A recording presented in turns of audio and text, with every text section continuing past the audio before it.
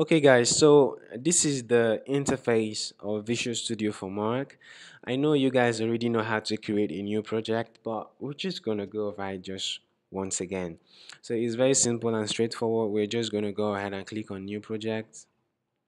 So these are the possible templates that you can create um, using Visual Studio for Mac. But what we want to do is to create an Android app. So we'll click here, we select an Android app and we hit next. So here you want to you know put the name of the project which in this case is Uber Rider. Okay? So here is your organization identif identifier. In this case it's Ufinix so you guys should change this to something you know very very unique to you okay?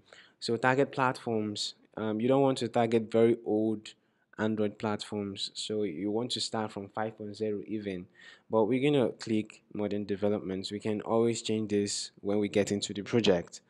So I think we are done here. The team, you can leave it at default because you will still need to, you know, um, change your team when we get into the project. Okay. So hit next. So guys, ensure that you check create a project directory and also if you want to use a version control like JIT click here. If you want to use App Center for your automated UI tests you can check this. But we are not going to concern ourselves with this for now but we'll get to it later on. So guys this is how to create um, an Android app. So we just hit create and this is where the magic happens. So let's open our designer and see what we have.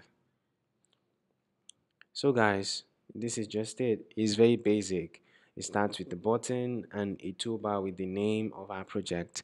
So this is how simple it is guys to create a project. So see you in the next class